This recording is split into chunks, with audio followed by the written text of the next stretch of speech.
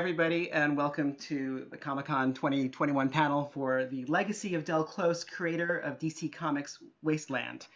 Um, today, we're going to be uh, talking about uh, the movie for Madmen Only, which uh, explores the weird mind of Del Close and his contributions to comedy through the lens of a comic book called Wasteland that he co-wrote with uh, John Ostrander, who's with us, and Mike Gold, who was the editor, and I, I believe the man who had the idea to begin with. Um, so to honor this, there's DC Comics is re-releasing the comic book Wasteland for the first time since the late '80s, uh, in uh, to correspond with the release of the film this summer in July. So um, to honor this historic moment, we're bringing together the real life co creators of Wasteland and the actors who played some of them uh, in the film for Madmen only, plus the director of the film, Heather Ross. Uh, my name is Adam Goldman. I, I co wrote the film with Heather, and uh, I'm the guy who got stuck with this job. It's going to be fun. Here we go. Okay, so. um, for people who don't know, comedy guru Del Close, uh, he mentored everybody uh, in fr- starting from uh, he worked with comedy greats like Elaine May way back in the day, and then taught at Second City, and everyone you know from Saturday Night Live and from comedy from John Belushi through Bill Murray through Chris Farley uh, through the UCB4, uh, one of whom we have with us today, and uh, all the way through Tina Fey and Amy Poehler. So he's one of those names that uh, insiders know, but considering the impact he's had on entertainment, very few people know that there's a there's one guy sort of behind all this stuff. Um, and so Heather set out to tell Del's story uh, in a documentary, and the way Del tells his own story in in life uh, was through an amazing collection of anecdotes that were sometimes fantastical, sometimes weirdly true, despite how unbelievable they sounded. Um, and it sort of made sense somehow that this man would write his autobiography in a sort of psychological horror comedy comic book for DC Comics, um, and that's Wasteland. And uh, the film looks at Del's story through the writing of the comic book. Uh, that's one of the modes. So we're going to right now look at a clip uh, from the film with uh, with uh, Matt. You're in this, and so is James Urbaniak, uh, and then we have um, John. Of course, is being played by uh, actor Josh Fadem, who's not with us today. Uh, so we're gonna watch what we imagined a writing session was like. Um, so here we go, based on interviews. So, of course, I'm going to ask you guys how badly we blew it, but we're going to watch it first. All right, here we go. Uh, nickel, dimed, and quartered. Oh. Ooh, Maton with Satan. No, the Cream Demon. Which one? Uh, Cream Demon. Cream and Demon. What am I looking at? Is maybe what you're asking yourself right now. Well, Del Close has just been hired to write a comic book about his life for DC Comics, no less. Emergency room service? No, no. Emergency Rumors. Rumors. Great minds. And this is his team. Smell of the mega brain. Here's Del, full of ideas. Sniff and crawl. Only problem is, they're all bad. That's Mike Gold, Del's editor, trying to figure out how to turn bad into comic books. Well, he was insane. Uh, now, I like that. Insane people come up with great stories. They, they go places nobody's ever been before. What happened to Merlin? Feed us. The fetus. Here's John Ostrander, Del's trusty writing partner. He's just happy to be in the room, even if it smells like an ashtray full of farts. Many times I go, How did Del and I ever work together? Del is hip. I'm a square. I'm so square, I'm almost cube. But I knew comics, and he was Del. You know, he had this imagination. Probably there's androids. Probably. Probably Might there's be. Androids. uh, you know what? Oh, and all Del's lines here are direct quotes taken from tape recordings he made throughout his life. Anyway, back to 1987. Which is in Toronto. I love that. Toronto freaks me the out. Right? That is great. Can I get an outline on that? Witches Yeah, in Toronto yeah, you- Thursday? you bet. Beautiful. Did you write Good. that? I got it. Witches in Which is in Toronto. Toronto. I got it. That's pretty cute, huh? Um, so before we dive I want to do real introductions for everybody. So, of course, um, we have Heather Ross, the director and uh, co-writer of the film that we just saw a clip from for Madmen Only. Uh, if we're gonna go Brady Bunch style, um, right below her is James Urbaniak, actor and writer, known for um, his work with Hal Hartley, which I'm a big fan of. Uh, his work as Dr. Venture on the Venture Brothers. Um, recently, also a very popular show called uh, For All Mankind, I believe on Apple, and uh, Difficult People. A tons, tons of great stuff. And experimental theater from New York City way back in the day. Quite a bit of that back in the day. Below him is Mike Gold, a 45 year veteran of the comic book industry, um, served as group editor and director of editorial development for DC, uh, founder and editorial director of First Comics, um, some pretty pretty far out stuff on First Comics, and uh, publisher of Classics Illustrated. I believe there's something to do with psychology in there somehow, but we'll get to that. Um, to Mike Gold's right is John Ostrander, uh, writer of comic books. So uh, made his DC Comics debut by plotting the miniseries Legends, uh, also known for, I believe, creating Suicide Squad, uh, before moving on to Wasteland, the collaboration with Del Close that we'll be discussing today. Um, and you had worked together with Del on Munden's Bar, a part of uh, kind of the back of uh, Grimjack for first, I believe. We'll get into that as well. And then above John is Matt Walsh, uh, of course, an actor, comedian, movie director, and screenwriter, uh, known for, for being a founding member of the Upright Citizens Brigade, which has a sort of direct link to Del and his teachings back in Chicago. Um, Matt, you will also know from uh, the HBO series Veep. Uh, in our film, he plays Mike Gold. Can I address the elephant in the room? How Yeah. did I do? What about me? No, Mike. I portrayed. Oh, you. yeah. What do you? I mean, what do you think? Did I capture your spirit? I, I, Matt, I think you have too much hair. Ah, Uh, God bless you. but- for, but you're- first of all, God bless you for saying that.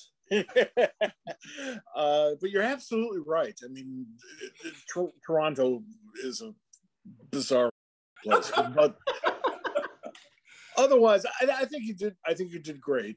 Uh, Thank you you. know, I don't. I'm not sure that the three of us were ever in the same room together working on Wasteland. We Oh. did on Munden's Bar. If I recall correctly, but that was 10,000 years ago, and I can't recall what I had for breakfast. So, it, it was that I wish we had that sort of give and take, but with Del in the room, I would have been totally intimidated, which is the proper response for meeting Del. Well, let's back up a tiny bit. Uh, so, uh, John, you had known Del prior to working on Wasteland. How did you How did you meet Del? Well, I knew of Del um, because I was in Chicago Theater. You couldn't be in Chicago Theater and not know of Del. Um, we were in uh, Christmas Carol uh, uh, together at the Goodman Theater uh, from its very first year. And uh, we were assigned dressing rooms, and I wound up in a dressing room with Del. And as I say in the film, I'm so straight, um, straight I'm cubed, you know. Uh, and so I was a little afraid. I was intimidated. But I found out that very genial guys. The only problem I had was uh, the constant smoking. Um, but I also discovered that he was so knowledgeable about science fiction. He loved comics. So we had a lot of great conversations. And actually, the way that I sold Munden's Bar to Mike, who was the editor at the time of Grimjack, I, I suggested it as an anthology series, you know, set in the bar where Grimjack works out of. And Mike went, no, no, anthology series never work. They're, it's always too complicated. You got to get new people in all the time. And so he gave me a flat no on that until I said, I think I can get Del Close to write it with me. Boom, we're off to the races. So, you were you intimidated by him a little bit at the beginning? Oh yeah. Oh yeah, you know, I mean, you hear all these stories about Del, You know, uh, he's going to get you high. He's going to introduce you to satanic uh, uh, verses. You know, it's uh, uh, yeah, sure. You know, like uh, also, you know, like in any room, he was going to be the most brilliant guy in the room. You know, so uh, intimidated? Yeah, sure, you bet. Um, so, Heather, to go to you for a second, just to kind of bring it back to the film. Um, so, Del is mainly known as this kind of godfather of long form improv and improv in general and comedy guru. So, you know, what made, what drew you to Wasteland, the comic book, as part of the film that you were making about him? You might be on mute, though. Unmute. There you go. Um, might have been better the other way, but um, no, I came to Del completely as a comedy fan and as a interest in him as a psychological specimen. And uh, you know, we as we got into it, we were thinking, you know, this is great, but there's so little material of Del because he worked in improv, which is necessarily something that kind of evaporates after you perform it he wasn't a big star like so many of the people that he mentored or taught. Um, so there just wasn't a record. There really wasn't a record. So we're like, well, shoot, what do we put on screen? And I had a very talented writer that was working with me that was sort of a comics head and said, well, you know, there's this comic book. And um, we uh, started looking at it, and it was kind of perfect because there are these autobiographical stories that he's written that are clearly i don't want to say clearly um, fantastical because always the, the weirdest ones end up being the truest ones but um, it just seemed like a great way to come at his sort of inner life eh, looking at the way he told his story and what these stories meant to him so we use that as sort of the the spine of the film um, so that brings me to, to Matt. You you started working with Del, I think, uh, in the late '80s, uh, which, yes. if I my, if my math is right, it's sort of right after Wasteland happened. Like, were you? Was this something that you were aware of? Um, no. I, and yeah. Well, go ahead, finish your question. That's well, but and if not, I imagine that you were aware of his stories, or is is I guess yeah. A, were you aware of Wasteland, the comic book, and B, you know, as a student of his, maybe you can tell us about how you how you came to take his class and the role that his storytelling played in the way he taught. Uh, I unfortunately didn't know of Wasteland uh, when I entered into uh, Del's like teaching world at Improv Olympic, which was at a restaurant called Chow, I believe. They were constantly floating to different locations. And of Del, like he was very intimidating, which I'm so glad you guys who were his, who were his peers felt the same intimidation. By the way, I just, I was frightened of that guy for a couple years, and I was in the classroom with him for a couple of years, and I don't think I ever got over that intimidation. Um, but he, uh, I did know of Del. That is very true. Like his legend was in the comedy scene, and I was curious about improv, and I'd taken a little and then Del was sort of, in my memory, was returning from LA after a stint in LA after trying to do acting again. So the, the sort of buzz was like Del's back in town. And so Del having touched so many careers and uh, being like a, a, second city director and being like this long form genius, which is what I was just getting turned on to. I had studied what we call short form, which is akin to whose line is it where you know the rules and you sort of you play rewind or you play like do it now as woody allen like they very structured improv and del was obviously for, um, uh, espousing long form so he was every bit of the legend that anybody who cared about long form improvisation was about so yes stories were swirling about uh, in our little comedy community about del everybody was intimidated by Del. Yeah. Uh, I mean, that was just stock and trade.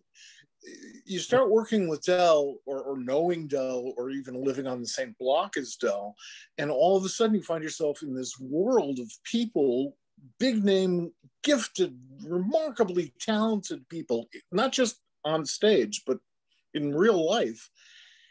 And everybody has the same feeling. We know the same stories about Del, and we're all intimidated. And I think that proves that at least we're somewhat healthy. Good. Good. I feel better. So, J- James, I, I imagine you. I don't know. Had, had you met Del? I just wonder if oh. you're Oh. mentally sound, since you're the person who actually had to portray him. Are you? Have you recovered from that? How was that experience of trying to get into this guy's mind? Oh, I loved it. I mean, Heather got in touch with me. We didn't know each other.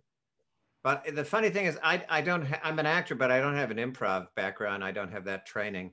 But I've been a lifelong student of like American show business in all its facets.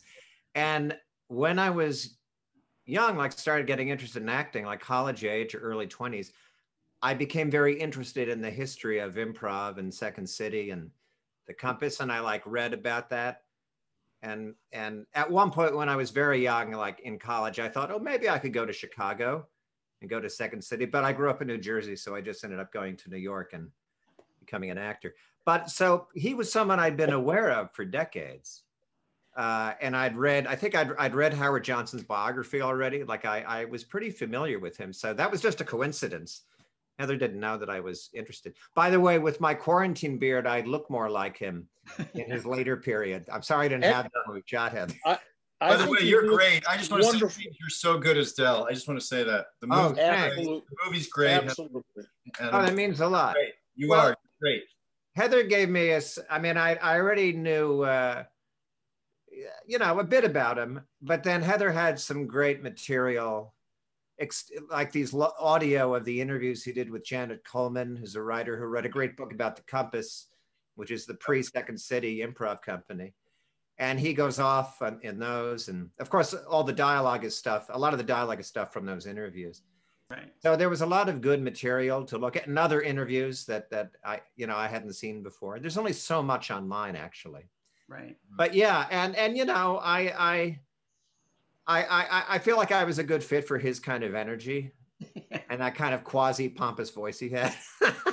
Well, you know, it's funny because you didn't do an impersonation of him, like you didn't do the Del Close voice. It is, you know, an im- more impressionistic, but seems totally Yeah. perfect to me. I, but obviously, Mike and it's like an idea of Del Close. so Mike, um, knowing that everyone was intimidated by this guy and he was crazy, and it also sounds like he wasn't always 100% reliable. Where did this idea come from to make a comic book with him, and why? Oh, geez. First of all, I have to point out that of, of the six of us, John does an amazing impression of Del's voice. Come on, John. Amazing. He could he could do Del and, and just to it. frighten the hell out of you. Uh, we were doing Munden's Bar, and and it was the greatest fun that I had as an editor, um, because I was also editor in chief, and I can get away with anything. Uh, so uh, we enjoyed it so much that when we were looking for some work, I had moved to New York. Uh, I- DC made me a wonderful offer, uh, which they actually held to for six of my seven years. And um, I brought John along. John was involved in my very first project for, for DC because John's really gifted. And we were looking for something a little strange to do. We took this like long walk around this pond out in Connecticut uh, in the rain. And by the time we were back in my, my place, we had wasteland. You know, it it was done, I think, in the spirit of Del's bizarreness, which I have to point out. John and I are perfectly capable of, of meeting halfway, but nobody in the world has ever been capable of meeting Del all the way. Hmm. It can't, it couldn't be done. Just, just could not be done. And he knew it. So that was the difficulty. Yeah, he wasn't the most reliable guy, but John was still living in Chicago at that time, or most of that time at least. And, and he was the guy who had to put up with working with Del and finding Del at the same place at the same time. So um, that was uh, he did that defensively because he knows how I define the word deadline. the word deadline starts with the word dead.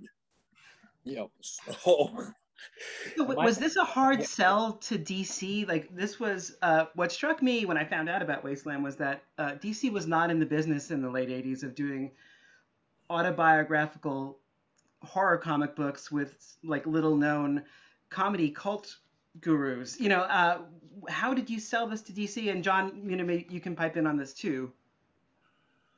I sold to DC by um, telling my boss, who's Dick Giordano, the, the editor in chief there at the time, uh, who has a had a wonderful sense of humor and a great sense of bizarreness, that we would be publishing something very, very risky, very, very on edge, probably wouldn't last more than 12 issues, but everybody would know about it. Everybody would know about it. And he liked that. And it was his job to tell that to our publisher, who was a friend of mine anyway, Jenette Kahn.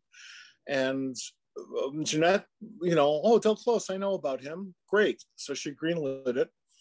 And in the very first issue, when she she read it, uh, we did this story called RAB, which was retroactive abortion, uh, where we decided that it was okay to like abort a child who's like eight years old, and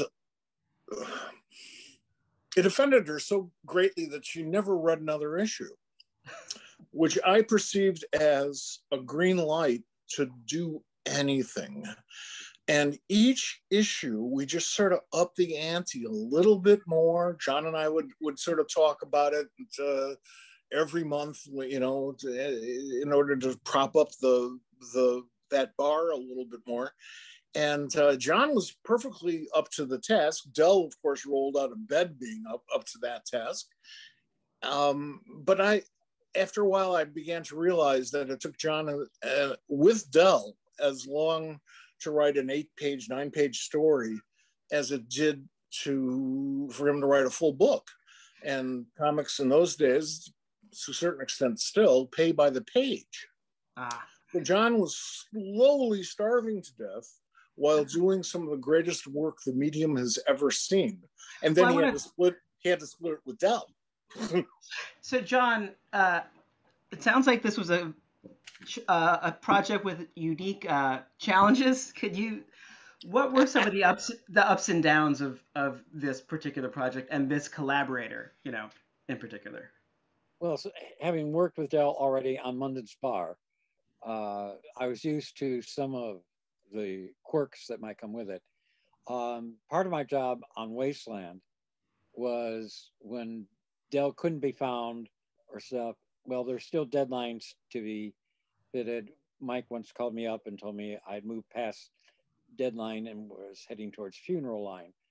and um, my job was to make sure that the requisite number of, of stories were ready somewhere around deadline, between deadline and funeral line.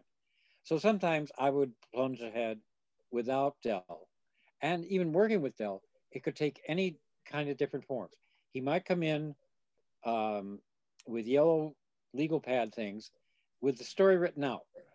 Uh, not a, uh, it was my job to arrange it into pages and panels, you know, uh, to to fit the format. So on that, I was not so much uh, uh, input, but then Del would come in with an idea, and we would talk about it and develop it, and then it would be my idea to set it down in words. Sometimes he would give me two or three lines. Boom, that was it. Okay, I'll take it and go from there. Know, what does that mean? So uh, my job was to be whatever the book required and whatever Del required for me to be. Um, I, I think a good example of Del and I working together, and one actually it's a story that uh, um, very personal to me too that I love. We were up working at a coffee shop, and Del was looking a little bothered, and um, he stops uh, before we begin. He goes, "Before we we begin, I I gotta warn you about me. Um, I had a partner before, and well, you just need to be warned." And I, I nodded, and, and he was sincere about it. He wasn't trying to intimidate. He wasn't trying to do anything. He, uh, he was being sincere, and so I said, Right. "Okay, I'm warned. Can we get? Can we go on with the work?" And he went, "Okay," and we went on with the work. And Um, that, a lot of, I think there's a lot of Del right there.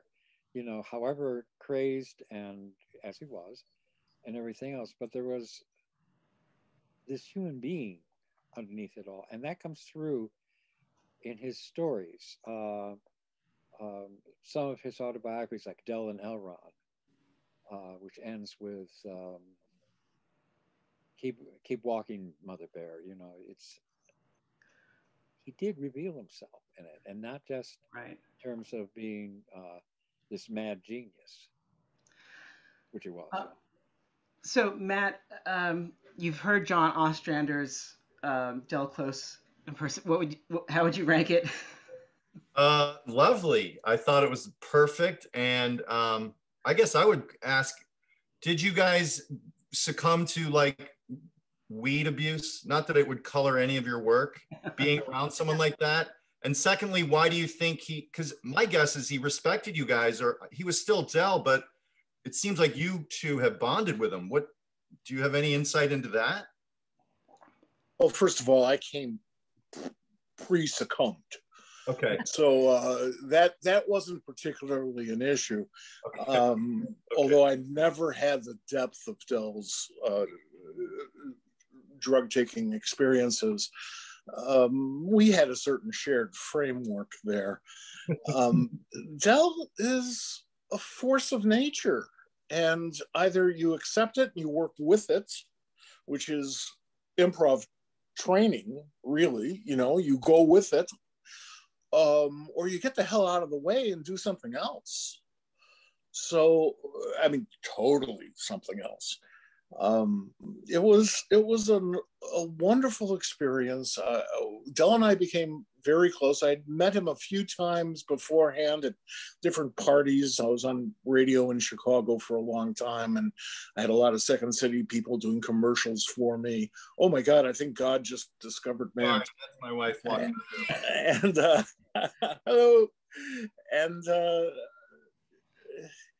it, it, it was just it was sort of after you're done working every every session, you you sort of realize that that is like a, a privilege to have worked with a man that insanely brilliant.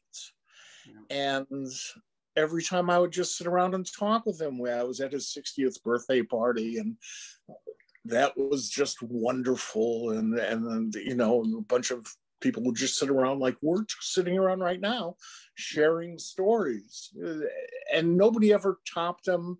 And I only saw one or two people try, and God, he eviscerated them just by flicking his finger. It was like Thanos at the end of of the first Avengers movie. It was just snap, and half the world is dead.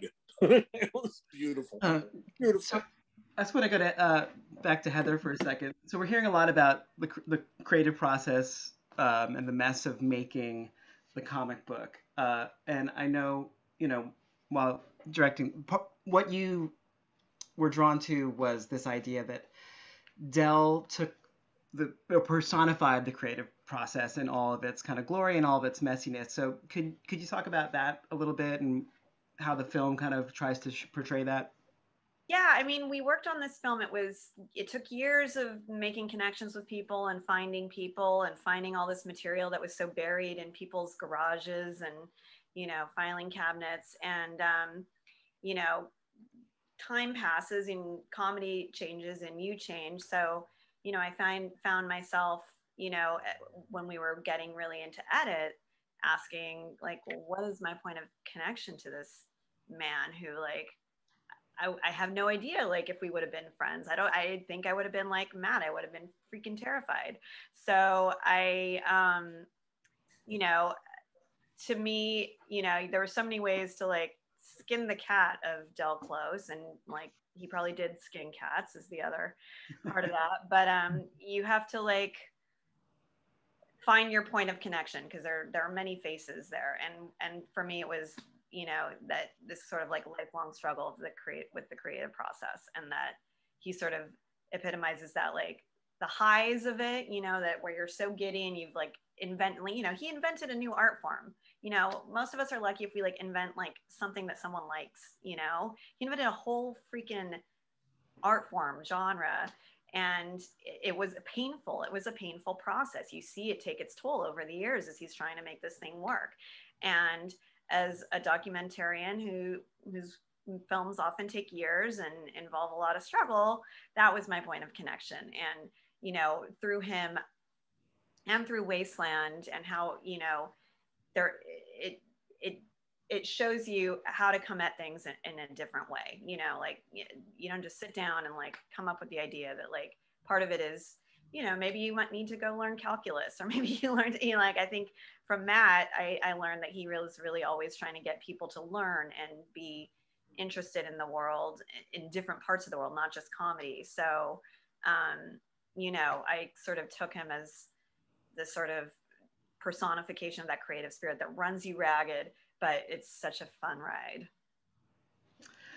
So, uh, Matt, when you were training with him, well, I, I have a question that involves the Harold. It's hard to talk about, and I know that we don't have the time to do it, uh, but it's a for people who don't know, it's a kind of uh, long form improv that I believe that Del took 30 years to sort of perfect. Um, is is that what you were training with him on? Yeah, we uh, that was sort of the compulsory exercise to uh, get on stage over there. You you would have to do Harolds, and then you would get put on teams at the Improv Olympic. But he was always, uh, if you'd gone through those classes and you were taking more classes, you were always working on new forms because his journey was like, oh, these video games. I you know I see all these. Let, let's do something with uh, where we're inside the video game. Now get up there and don't know where it's going. This is my impression, John. Uh, and so his hunger, like like Heather was saying, his hunger to learn more or to make the art form relevant. Like you guys are carrying the art form. Get up there and you know do something relevant. Explore this art form. You know, and so that was what I took away from him, and that's where I sort of entered into beyond the Harold, the Del world. And then you later employed Del when when um, Upright Citizens Brigade had uh, a show on Comedy Central. Yeah, he was the voice of our. Uh, he was probably the benefactor, or he would almost like Charlie from Charlie's Angels. He would uh, do the intro of the show and uh, talk about the group, and he really loved that. And he even gave us a nice kudos at his living funeral, uh, which he mentioned love, which was so sweet, like you know, spreading love, which is very undell like. He was always surprising in that way. He his takeaway about improv was like you're you're basically spreading love and that's not such a bad thing in this world. And like who said that? What guy is that? Do you know what i mean? I don't know, John, It might have been this. It might have been the uh, the painkillers. Um, maybe. so- or the human side that john talked about that we yeah. they see. Yeah, uh, I, I should point out that um, while we were doing Wasteland, I also got married. Uh, and my fiance, then later wife, Kim Yale, was scared to death to meet Del, but he couldn't have been nicer to her. And because he was my writing partner, I said, well, okay, I've got to invite him to the wedding and the reception, not knowing what he would do. Um, I thought he was fully capable in the receiving line of going up to my mother and saying, We're all so glad John's married. Now the uh, animals at Lincoln Park are much less nervous. uh, by the way, agreed to me. He could have done that, but he did. he couldn't have been. He was very. He was nice to my mother. He was nice actually to everyone. He he was just happy to be there. He was happy to have been invited, and uh, we were writing partners. Uh, James, so uh, you mentioned earlier that you had access to hours and hours of recordings of um, of Del's classes. Uh, But not classes, uh, interviews he did with Janet Coleman. ah, right, right. And right. then there were I, I there was a little bit of video and maybe some audio of some classes, but the bulk of it, if, if I recall, Right. those interviews. But he goes on at length in those interviews about his history and stuff. What in particular, um, like what resonated with you that you brought into the performance? Because, like I said, it's not an impersonation. Uh, it is something that kind of evokes Del in in a more artful way. So I'm just wondering what you took from those those interviews in particular. I think I'm just kind of struck and inspired by his sort of I think I used this word before in another interview, but he was a seeker and he had a vision and he was a really committed artist to what he was doing. And he continued to try to push forward with that throughout his entire life, which is quite inspiring, especially now that I'm of a certain age. you know, I, my impression is he didn't coast. He never coasted. Yeah. Uh, there were other issues, interpersonal issues, and sort of just living in the world issues that seem to come up, and that that's sort of part and parcel with someone who's that focused, you know. So I just found that rather inspiring. So it was, and that's sort of a key to who that character was to me. Is just this this guy who just keeps seeking, but he's also a storyteller and a raconteur, and uh, obviously a big self mythologizer so that's so I guess the key is he's he he's he is a, he's also a performer from the ground up. Yeah. So there's just a lot of fun levels there to play with if you're playing an idea of him. You know, it's a character with his name based on ideas that he threw out there. Very similar to my Mike Gold homework. There you go. Wow.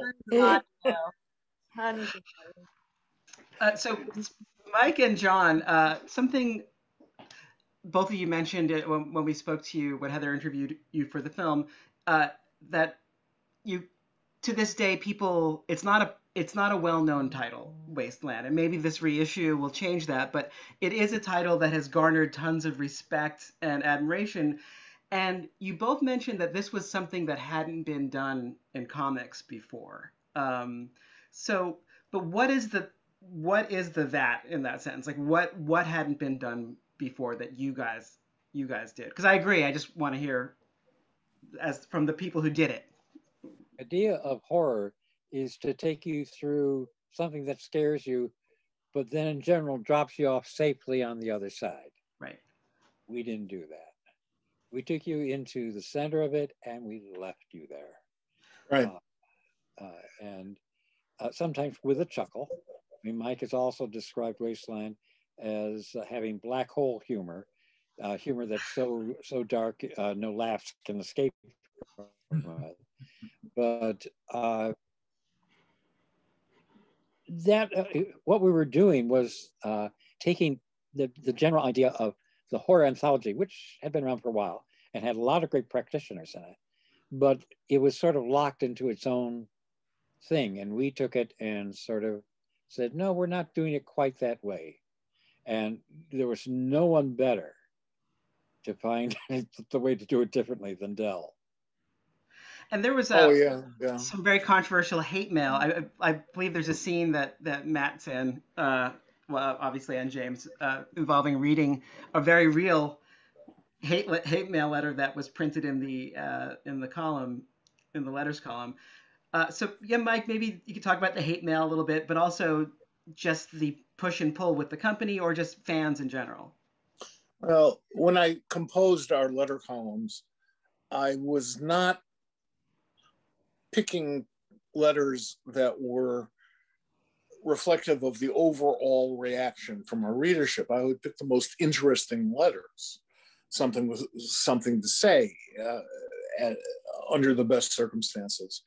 And, you know, that means that the weirdos are, are going to have an in on that piece. And the more extreme stuff is, is the stuff that's going to get printed um, as long as it's just not stupid ranting.